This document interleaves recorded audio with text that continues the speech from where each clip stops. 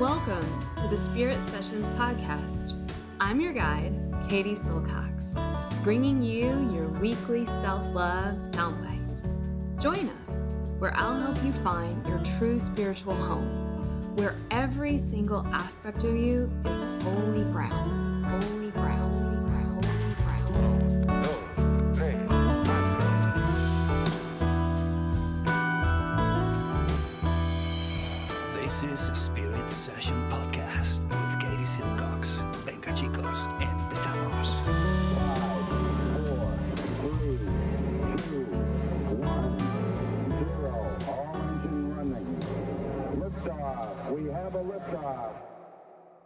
Hi, everyone. Katie here.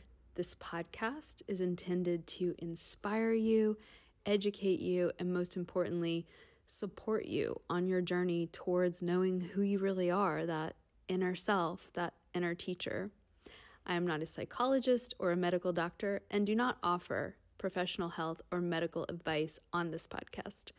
If you're suffering from any kind of psychological or medical issue, please do the right thing and seek help from your qualified health professional.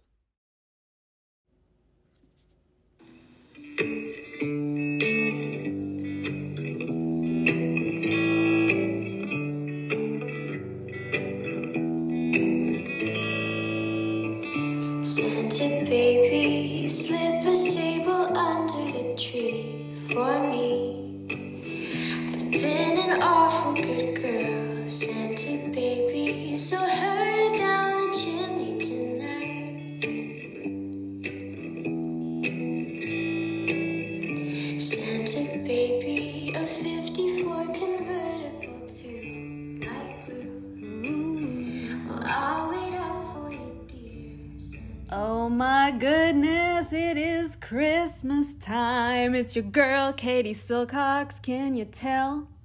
I have had a lot of green tea, and I am also fully, fully in that red ruby spirit of Christmas. You guys, this is going to be probably my favorite podcast. I can already feel it. I am here to bring us good tidings of comfort and joy. Santa baby. Yes, Virginia, there is a Santa Claus. He exists as certainly as love and generosity and devotion exist. And you know that they abound and give to your life its highest beauty and joy. Alas, how dreary would the world be if there were no Santa Claus? That was written by Francis Pharcellus Church in a very famous New York Post response to a little girl who had written him Does Santa exist? So, guys, while we all hang our lights on our trees and go out and buy our kids gifts around us, uh, winter is a real thing. And I think it's important to take a moment to feel the way that trillions of organisms have undergone a mass death. We may not know it, but we can feel it. We're natural beings. They, these natural bones, these natural blood pulsing, it is a loss, a grief, a sense in winter that things are falling apart. And so, if out there you all in podcast land are feeling, you know, I'm feeling like there's a deconstruction happening in me, it makes sense. Welcome to winter.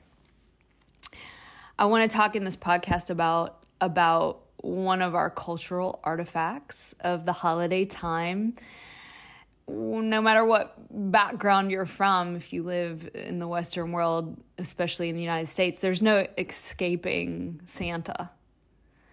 And I want to look at this myth infused ritual through a depth psychology lens. I want to talk about Freud, I want to talk about Jung, and how we can use this lens to really come deeper into the usual cultural experience of the Western world during this month of December. And you know, you may be thinking, seriously, Silcox, Santa? and and to that alliteration, I would respond, yeah, there's a lot for us in this.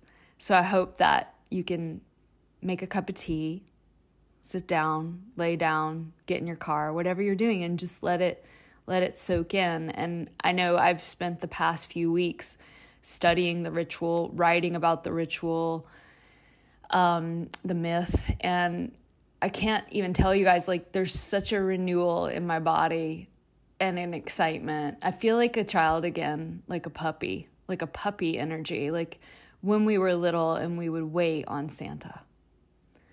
So, coming up soon, the winter solstice is the longest night of the year. There's, as you all know, so much dark and so very little light. And we all know the statistics, right? That depression and suicide are the highest in the month of December. The National Institute for Health says that an estimated 10 million Americans are affected every year by seasonal affective disorder, and they often recommend vitamin D. and guess what else? Light therapy. Of course, they're talking about, um, you know, physical light, but we can also think of it as metaphorical, and we need light during this time. You may hear me drinking a little bit of hot tea. Um, but yeah, our, our dark inner issues can often st- stand in such a stark relief to the holiday time, all of the lights, right?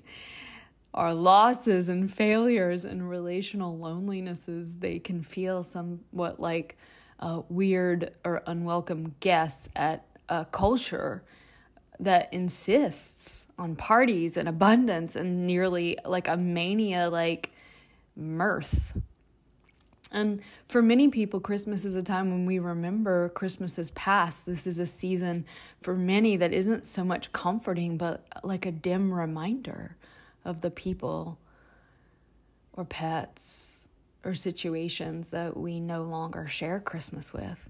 And all we have to do is look around at nature. She is our teacher. There is a black night of crystal clear air it's like we're being held in this cold, dark pillow. Winter is so full of death. And yet, sprinkled with light. Most of Western culture has forgotten that the season of winter is meant to hold what Jung would call this tension of opposites life and death, darkness and light. We have become culturally numb forced only to revel in false Christmas light or hasten to a solitary corner to mourn our losses alone. We have forgotten the deeper meaning of our ancestors and their meanings. We don't know death in our culture, and therefore we can never resurrect into life. So, what's so cool is that the deeper roots of our ancestors our wintry ancestors. They they hold and wait for us this sort of revived holiday myth. The black shroud of night around us is actually the reason we can see the beauty of the christmas lights in our neighbors yards. And by really going into these archetypes we can find a lot of healing and solace but we have to spend the time and I have found that depth psychology is a really great way in, especially for those of us that come from a Western background. And you know, it's it's beyond the scope of this podcast to go into a deep definition of of depth psychology, but basically it was it was coined in the early 20th century and associated with many psychologists, but most famously and notably Freud and Jung. And essentially, it's any psychology that really holds a primacy of the unconscious mind. What is that? It's a deep, sacred spelunking into the parts of our mind that are largely unknown to us. That's pretty interesting. Jung would say that I am not the master of my own house, right? It's this humble recognition that we are not alone, meaning we can want one thing with our ego and then do other weird things, right? We also dream every night. The depth psychology is by definition the unknown, and therefore, by logic, um, can be defined uh, really we can't really define it and yet by like really diving into this possibility of the unconscious mind we can start to actually make it a little more conscious and we start to get this really magical fuller picture of who we are as individuals but what through what we will do today we can also see who we are as a society, as a culture, as a collective, as a global humanity. And we can start to gain insight into why are we having this weird, odd thing like inventing a myth about a man who rides on a sleigh accompanied by reindeer, one of them with a red nose.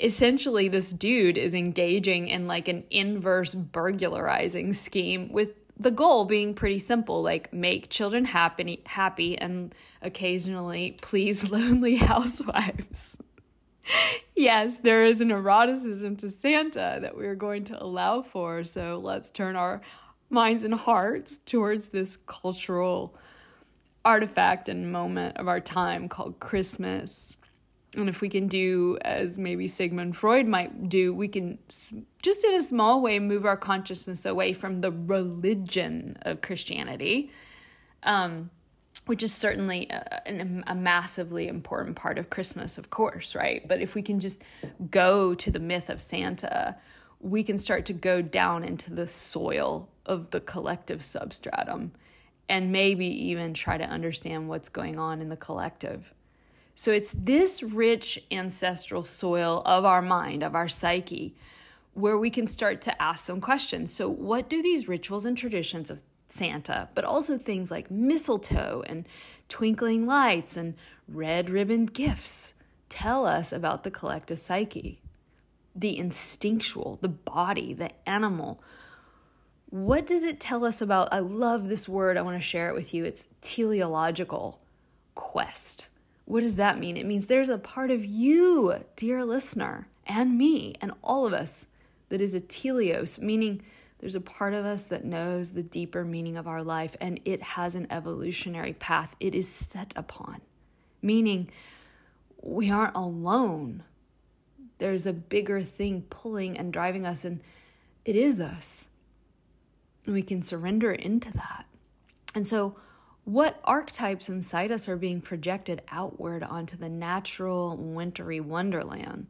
And how can we use this sort of psychic root of our traditions to bring about more and a deeper sense of belonging to the season and belonging to the land and belonging to our people and belonging to our family? And my God, wouldn't it be great if we could feel just a little bit more of that this season, this feeling of deeply belonging to ourselves?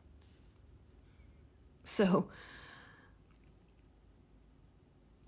what does sex, death, and and and Father Christmas have to do with all of this? Well, in pagan traditions, December was the meeting ground of two forces: the darkness of the season, where natural death is seen around us all the time in nature, but also this holding of the oppositional force of ceremonial light and gathering and presence and yeah, joy we can take a moment to just imagine the mind of our ancestors, particularly those in colder regions of the planet.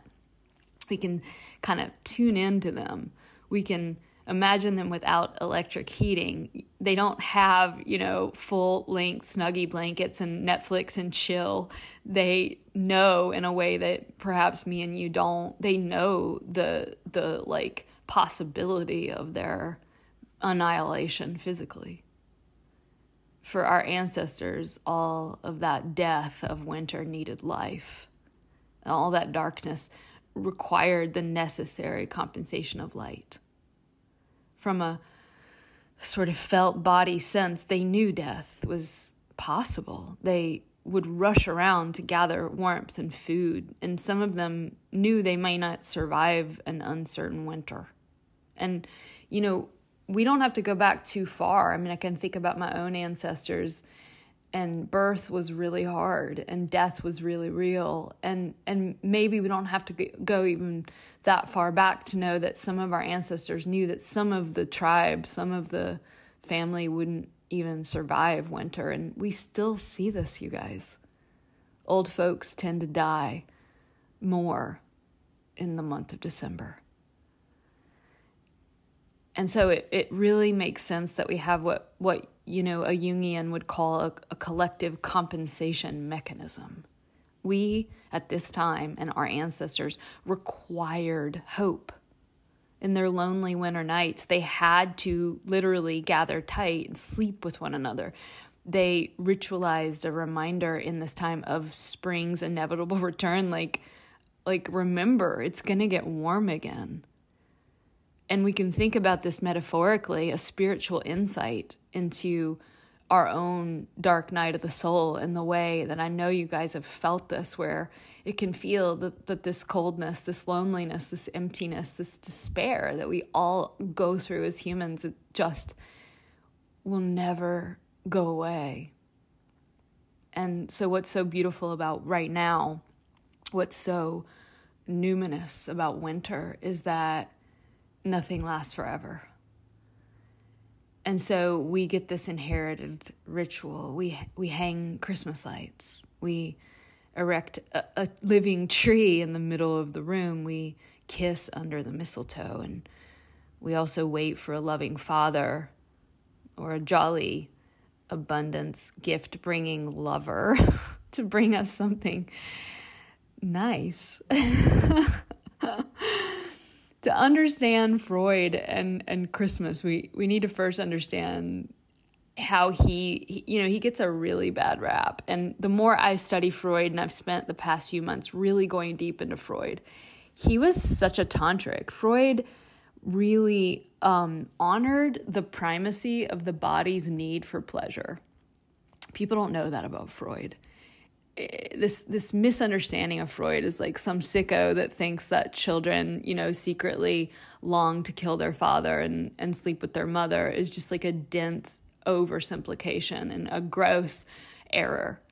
What Freud actually gave permission for was what the tantrics gave permission for, and that was all of life is pulsing with eros, with sex, with that doesn't mean intercourse, right? It means life it means the innate animal longing to be pleased, to feel safe, to feel comfort, to feel visceral body ecstasy. And so for him, there were two titan twin forces in the psyche. One was the the instinct of eros or or sex or life, and then death. And he saw it as I said, sexuality wasn't like just a genital experience for procreation, but really this this pull to pleasure. Um, and you know, we can also think of it as self-preservation. And then of course there is the instinct of death and destruction, which is the counterpole of that. And what's so cool is in his terminology, these inst- instincts become, quote, repressed, causing that sex force, libido, of course, the tantrics called this kundalini, to divert the energy back towards, quote, fixations within the consciousness. So these repressed sex forces have to go somewhere, and these repressed death forces have to go somewhere. So you and I are not so far away from this, right? Like we can we can like think about it from the comfort of our, of our warm home. But uh, as I'm looking out the window right now, I'm seeing lots of little squirrels. I mean, a couple. And what's so funny is like the squirrel temperament and personality and even body shape is so different right now than it is in, in the summer and the spring. Right now, they're getting so cute and chubby, and they're in what's called in the nature scene, we call it squirreling energy that it's like a mania. They go crazy trying to hoard nuts. And we're the same, right? In the winter, we're a little more driven to hoard, to hibernate, and we're also wanting mm, like more that hig, right? That cozy, that comfort, that snuggle vibe. And that's because we can feel it, even though we may be a little separated from the wintry outside nature wonderland, we can really feel it and subconsciously we're or consciously but for many of us subconsciously we're remembering that we're all living on borrowed time. So freud interestingly enough also talks about melancholia melancholy and how melancholy can be kind of a gathering place he called it for the death instinct And what's so curious about this time is like this is also the time when, as I said, depression and seasonal affective disorder, and we could call it a disorder, right? But we could also just call it the natural feeling that it arises, and and that is this sort of melancholy. And so these sex or pleasure rituals give us a place to neutralize that. Freud was amazing in that he warned us don't don't let this death instinct build up too much because it can become aggression. And so we create what pleases the passion during this time. We make presents with ribbons that are red, the color of our vital blood and its health. We hang mistletoe, which is green, this symbol of sex and everlasting life. Of course, we're going to kiss underneath it and all you know, ooh, right? This is it. So here comes Santa Claus. And just as Christians right now, which I include myself as a spiritual Christian, uh, we Christians around the world celebrate our sun god, spiritual redeemer Christ. We also celebrate our rewarding father, Claus. Santa holds the promise of this pleasure seeking power. He is wish fulfillment, limitless possibilities. He has a big red sack. It's red. He is chubby. He is abundant. He reminds us of the prosperity, both seasonally and psychologically. He is like a great neutralizer to all this melancholy of death. Now, I didn't know this until I started my research, um, I knew a little bit about it, but it was interesting to find out that Old Saint Nick was a Turkish monk from around 280 AD, so like really long ago. And he was a saint, and he was a trust fund baby who, instead of you know spending his wealth on himself, he gave away all his money to the poor, and he trekked around the area helping the less fortunate and and the ill and became very popular and was proclaimed a saint. And he got really popular during the renaissance and he was made a saint. And then even during the protestant reformation in europe where the protestants sort of got rid of all of the catholic saints they kept saint nick. And he was brought to the united states to america by the dutch in the 18th century, and they called him Sinterklaas. And then, of course, during the industrial and capitalistic boom after that in the US, he became the sort of cartoonish character that, you know, I learned about when I was a little girl, and you probably did too. So, Santa wasn't content on remaining a saint. Santa has now gone mythic. He is the father archetype remedy to our collective winter melancholy.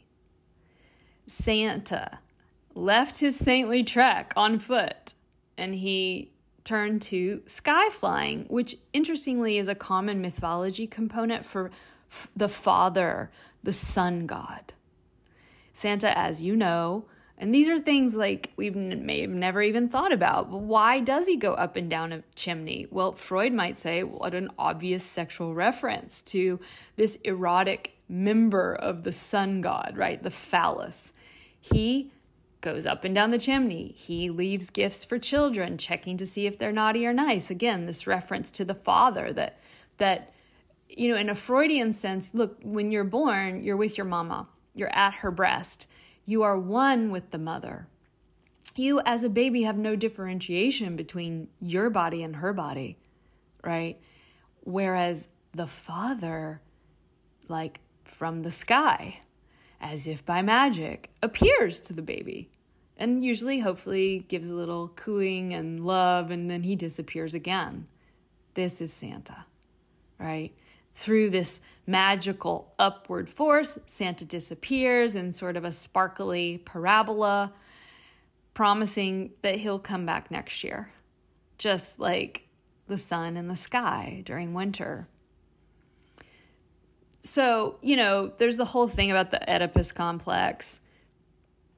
But there's something that I learned about that was amazing. I think it's pretty eh, and again, none of this is truth, capital T. It's just ways of projecting our consciousness that are really interesting and I think give deeper meaning to our own lives and maybe help us understand our motivations a little better, which is what we do with depth psychology and is in fact the definition of yoga, right? To make that which is unconscious in me conscious. And so Freud came up with this thing called the Electra complex, which I wish sometimes I wish my name was Electra. It's just such a good name.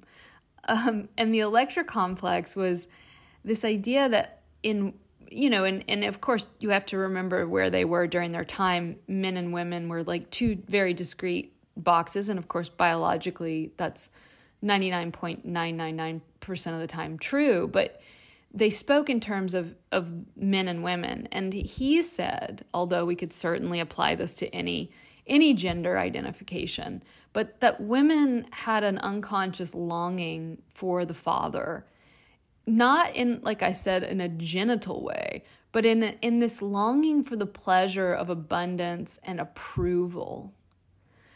Um, and so, what we see actually happening, and I'll put a link to it in the show notes, is Santa as erotic daddy right? There's a an abundance of romance novels coming out, which is called Santa Erotica. and if you think about it, we've got this Santa coming down the chimney to sexually ravage the unsuspecting woman all snug in her bed. Now, that may not be your bag or your cup of tea, but it is a thing, right? So this is interesting. These are these aren't truths, capital T. These are just things to think about, right? Like, what is this fatherly figure or what is this lover figure that we've all kind of um, brought into our reality? Now, Jung, who was a student of Freud but later separated from him and created what, what is more known as archetypal psychology, he was more interested in, rather than the merely personal, the sort of collective and transpersonal nature of these rituals that we do. And he talked a lot about archetypes, and he said archetypes are not themselves conscious, but seem to be like underlying ground themes upon which conscious manifestations are sets of variation. Their presence is felt as numinous. That means of profound spiritual significance. Um, so he thought that the most powerful ideas in history all go back to archetypes, and he thought it was particularly true of religious ideas. For Jung, archetypes were alive. They had an energy. They were predispositions in our collective mind that causes us to create rituals, rites. They are longings, they're motives, they're patterns. So Jung saw the Santa myth, or I mean, I'm imagining he would have seen it as just like this perfect screen for a wide variety of our collective projections to move out onto. There's this really awesome word in, in Jungian psychology. Well, it's used a lot in Jungian psychology called enantiodromia. It's a big one. And it, it, it is the boomeranging back effect. Well, it's actually the oppositional effect. So, what does that mean? It means if if there's a lot of death, we're going to want to bring in life. If there's a lot of destruction, we're going to need more hope and abundance. So it's this counterpole to things getting a little too far in any direction. So Santa is the counterpole response. He's like a father God, an all knowing, omnipotent, omnipresent entity, right? He's also sort of the king of being everywhere, of bilocation. He's able to reach every kid's home on the special night with his low tech sleigh and reindeer. He's also, as we imagine so many of the gods and goddesses of our of our ancestors, he's he's jolly. He almost looks like a big laughing Buddha. He's a father that can bring magic make dreams come true. He embodies altruism and guidance, you know, he's just asking us to be good. He's also like a magician archetype, magically levitating up the chimney, able to do the whole planet for all the kids in one night. And he's also sort of a hermit and a wise man because he does this, but then he leaves and he goes where? To the North Pole. He goes there to be with his chosen few, right? And that we can think of the North Pole as the North Pole of our own mind or our consciousness, a cold, dark place that invites solitude and introspection. It likes to be withdrawn and intimate and then it emerges hope filled and, and jolly and able to be in the realm of the human in the spirit of, of the season, which is is giving, right? Sacrifice. It won't surprise you to hear that I think Santa is also a little bit of the trickster archetype. I mean, there's a there's something and maybe it's the way he's depicted in modern culture, but he's sort of smiling a wise grin. He's got a twinkle in his eye and and it's just truly comical to imagine this big belly getting stuffed down a tiny tube called the chimney. Right? He also has a mantra. You guys know it. It's ho ho ho.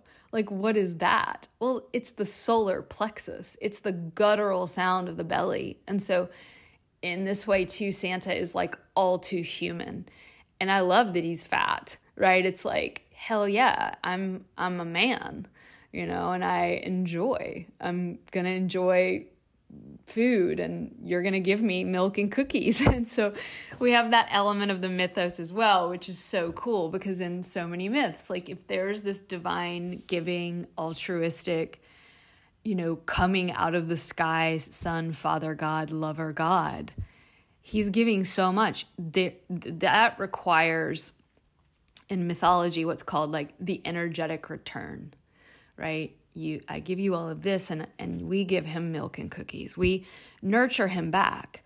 And so in this way santa's different from the the the mother god. The mother goddess y'all mamas out there know she gives and gives and gives and she actually doesn't require an energetic return.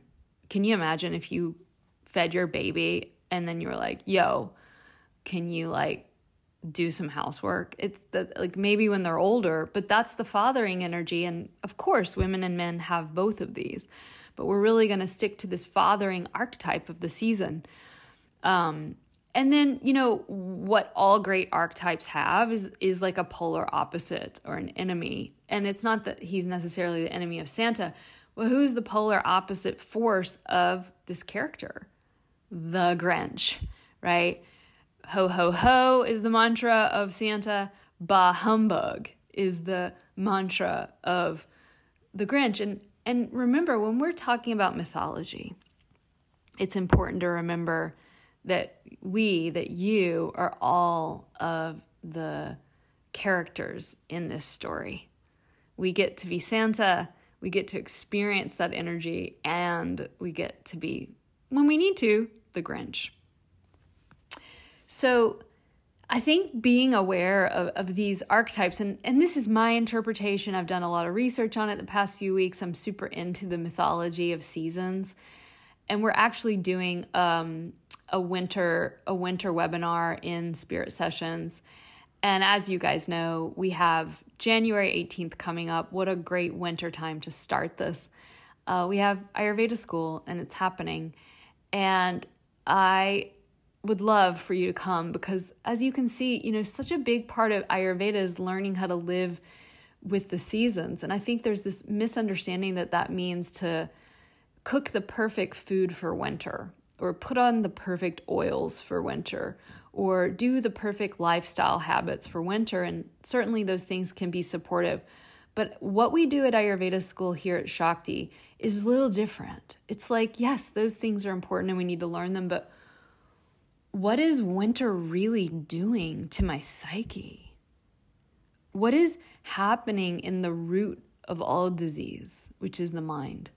What is going on in the depth of my soul? And how can I ex- really support a returning to wholeness during winter through some of these seasonal myths And so, if this sounds like something that you're interested in, today talking about Santa Baby, it's just one example of where we go in our minds and our spirits in Shakti school. And there's more, there's so much more. I hope you guys can join us, and I hope this Santa story has made you think about the one really important message that Santa offers. He helps us, you know, heal from what our culture at large does. It goes through these empty motions of Christmas. It's like Christmas congealed. We may do the thing, right? Like we get the tree, we put on the lights, but is it just like one more thing on your to do list?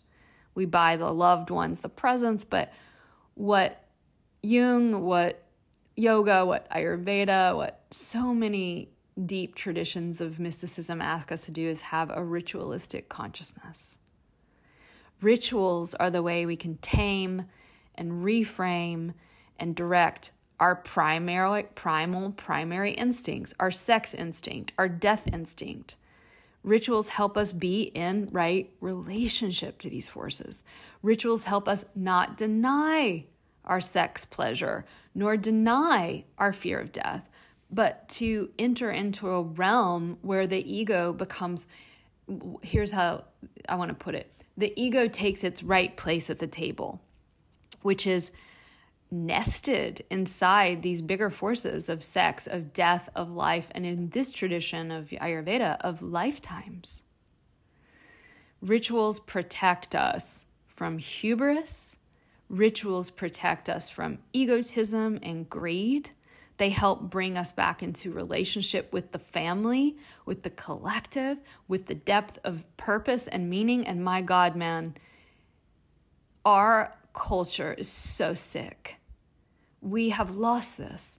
And because we've lost the sense of ritual, the sense of meaning, the sense of, in some ways, a psychological morality, our young people and our old are reaching to bad places to get their religion. we, do, we don't want our old religions, many of us, and that's okay. But we must create new mythologies, new meaning makings for the soul. Otherwise, this impulse will not be denied. And it will go and find a perverted place to nest. This is what happens when we see the rise in extremist political groups, in extreme ideological thought, both on left and right. We see our people looking for a place of belonging. And we go into what I know you've heard of tribalism. This is a terrible place to live. It says, I need to gather with the people that think like me. This is my tribe. And the way we define ourselves is wh- whether you are with us or against us. And my goodness, those are the ways in which war begins. This mythological way of thinking nests us within this greater greater collective that every human being shares. Yes, we all have it. A ritual consciousness requires, you know, this, guys, if you've ever done a ritual, there's like this liminal space. So, like this, I call it an awkward period between when the ritual starts, before it starts, and then when you get into it. And it requires a humbling, it requires a sacrifice. What are we sacrificing? Our mind, our ego, the, the everyday egoic way we live our life. Get up, do this, do that. Rituals say pause. Sacrifice the mind into the sacred quality of that which you don't know. We don't know what's going to happen in a ritual. And, and so, in this way, our mind gets to live where it needs to be li- living and it starts to feel a bigger sense of belonging. The more we let this sacrificial take a place in our life, ironically, you know, the more we start to feel safe dreams were a huge part of the depth psychology process. Active imagination is akin to the tantric visualization. Working with dreams is one of my favorite techniques. Meditation is an initiation into the unconscious. So let that be a part of the ritual of your winter.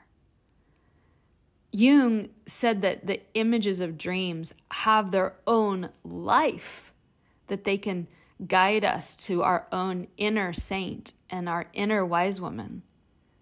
To quote him, he said, Most of our difficulties come from losing contact with our instincts, with the age old, unforgotten wisdom stored up in us.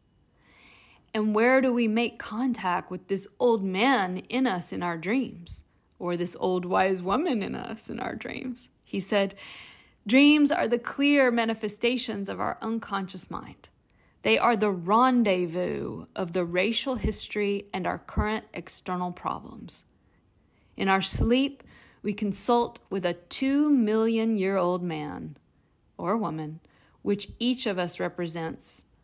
We struggle with him and in various manifestations of fantasies. That is why I ask a patient to write up his dreams. Usually, they point the way for him as the individual. This is from Jung. I added the part about the woman. But no, you know, you and I live in a culture where dreams and death are disregarded we toss out both the very old and the very young. The extent to which we aren't aware of this liberating power of death and dreams in winter is the extent to which we cannot fully relish in the pleasure of its counterpoint.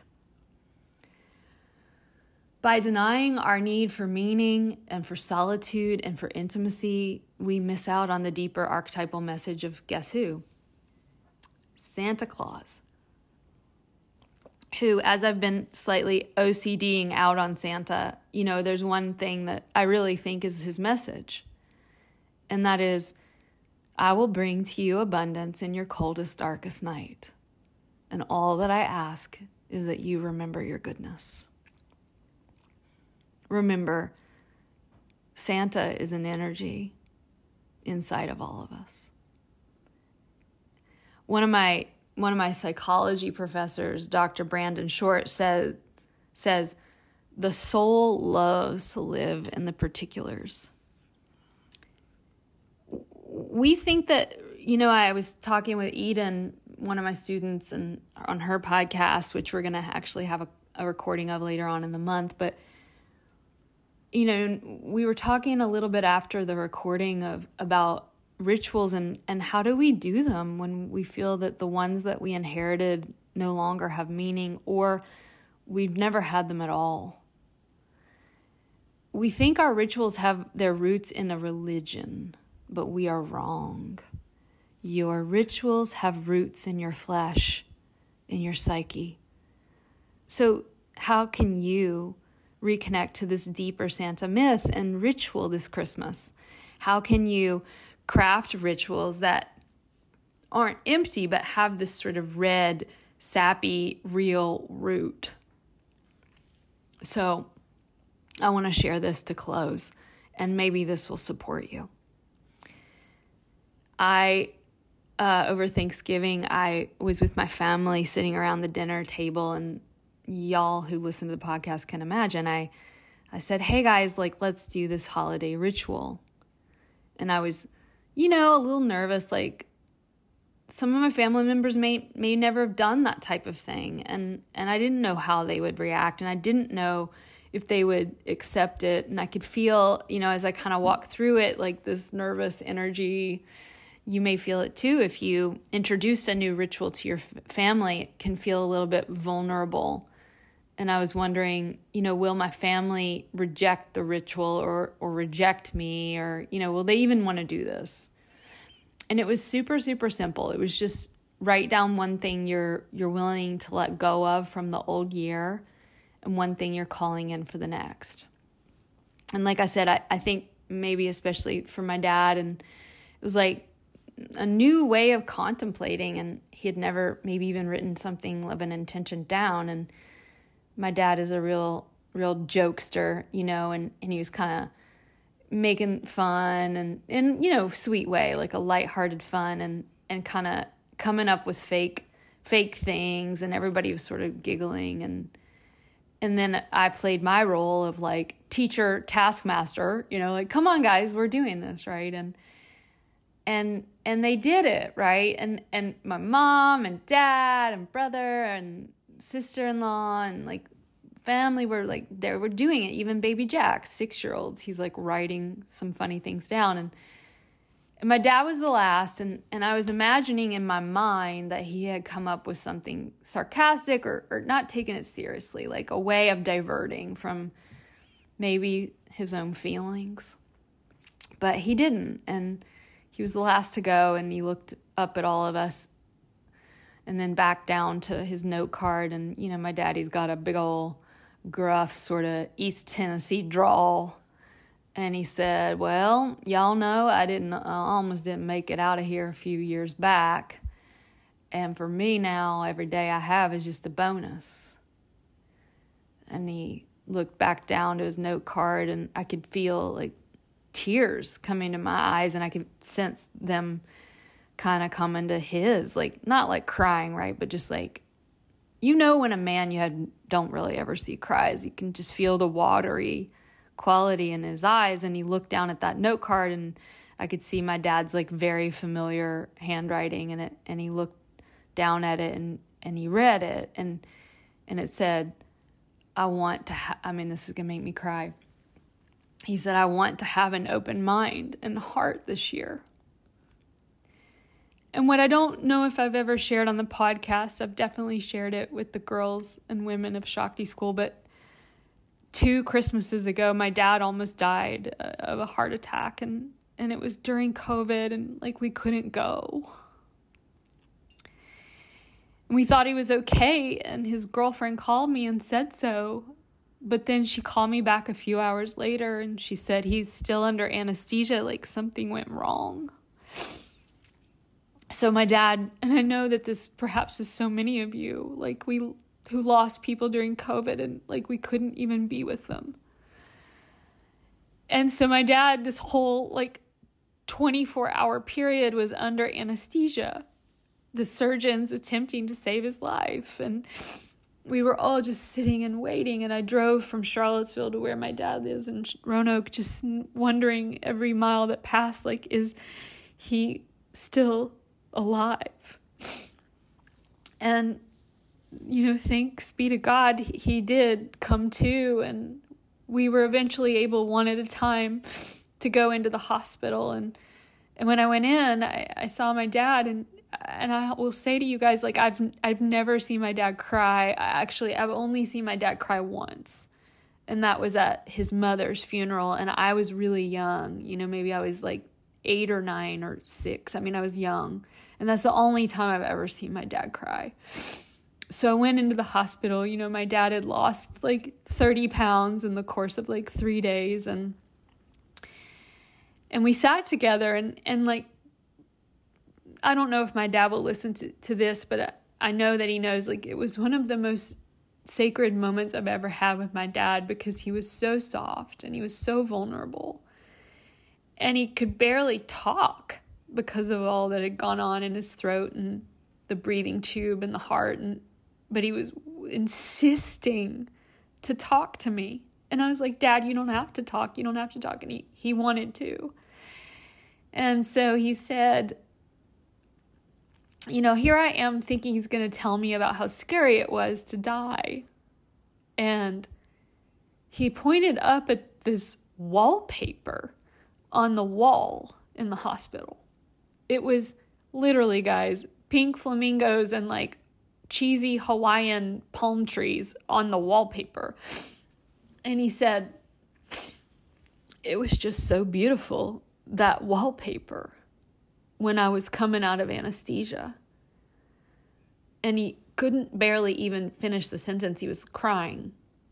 And it, and it, and I knew what he meant. I knew what he meant. That just to be alive to be able to look at the world, even if it was just the shittiest hospital wallpaper, with like a reminder of life that is a freaking pink flamingo and, and palm trees in Hawaii. Like he wanted to be here. And I hope I'm not speaking out of turn for my father, but that's how I interpreted it. You know, that my dad could feel the gratitude of being alive even more than the terror of dying. So before we did this Christmas or Thanksgiving rather ritual, I I you know, I was I was unaware that I was seeing my dad as that same old dad from my childhood before this intimate, life-changing brush with death with father time. But through this very simple ritual we did um, that my dad was willing to do, that my brother, that my sisters were willing to do, my mother, my baby Jack, I could realize and see like my dad isn't that that man that I have sort of etched into my psyche like a like a blurry bad tattoo.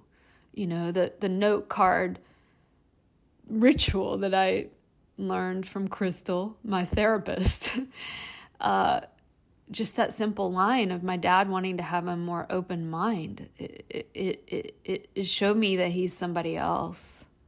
And in that moment, the whole room, or at least me, but I think the whole room, the whole family, as if kind of by magic, there was like a new energy, something closer to the feeling of a father's wisdom. And I felt like something was sort of reborn out of some old ashes of my old ignorance and maybe my dad's taste of death. And I think that's what a ritual can do. So, with that, Santa baby, I wish you all such a beautiful winter season, a wonderful winter solstice, and I hope to see so many of you in January in our really sacred school that we've created on Ayurveda Wednesday nights. 2 to 5 p.m. we meet. And if you can't come live, you can always watch it later. And I hope you'll join us. We're we're in the endeavor of learning Ayurveda, but way more importantly, we're in the endeavor of reviving the meaningful, the mythological, and the soul. Happy holidays. A big special thanks to Kevin Carlisle of Goodbye Gemini, who wrote this beautiful podcast music, and to DJ Juan Pablo Jimenez in southern Spain for mixing it and making it magic.